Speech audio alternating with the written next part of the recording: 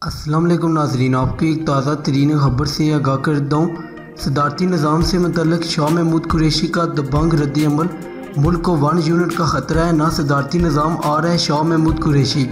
صوبوں اور وفاق میں ایوارڈ کی تقسیم آئینی ذمہ داری ہے، جسے ہم پانچ سالہ دور میں نبھانے کی کوشش کریں گے۔ پورے سندھ میں ایڈز پھیل چکا ہے صوبے کی بربادی ہو گئی ہے، اس پر توجہ دیں۔ اٹھارویں ترمیم بھی رول بیک نہیں ہو رہی۔ وزیر خارجہ کا خطاب۔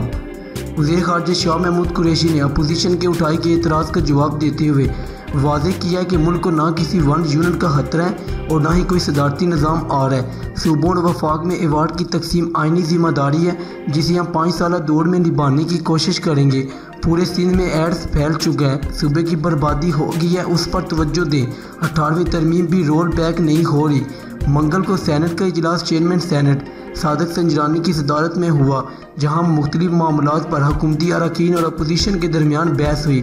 اجلاس کے دوران اظہار خیال کرتے ہوئے وزیر خارجہ شاہ محمود قریشی نے کہا کہ این ایف سی ایوارڈ گزشتہ دور حکومت میں آنا چاہیے تھا۔ اسد عمر کی جانب سے صوبائی حکومتوں سے متعدد مرتبہ درخواست کی گئی کہ رکن کی نامزدگی کریں تاکہ این ایف سی ایوارڈ کا معاملہ مکمل ہو سکے، تاہم صوبائی حکومتوں نے ان نامزدگیوں میں تاخیر کی۔ انہوں نے کہا کہ صوبائی حکومت بالخصوص سندھ حکومت این ایف سی ایوارڈ میں تاخیر کی ذمہ دار ہے۔ ریکارڈ پر موجود ہے کہ سندھ حکومت نامزدگیاں کرنے میں ناکام رہی۔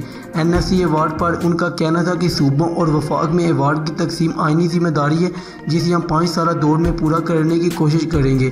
اور ملک میں کوئی ون یونٹ کا خطرہ ہے اور نہ ہی صدارتی نظام ملک کے اندر آ رہا ہے۔ صوبوں اور وفاق میں ایوارڈ کی تقسیم بھی آئینی ذمہ داری ہے، جسے ہم پانچ سالہ دور میں پورا کرنے کی پوری کوشش کریں گے۔ تو ناظرین، آپ اس پر کیا رائے رکھتے ہیں؟ اپنی رائے کے اس خبر میں کمنٹ باکس میں دیں۔ مزید اس طرح کی ویڈیوز کے لیے ہمارا چینل لازمن سبسکرائب کریں۔ Thanks for watching.